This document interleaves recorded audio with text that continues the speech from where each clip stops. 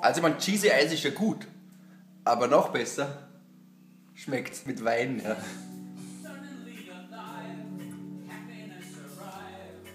Mmh. Etwas Cheese zu deinem Wein?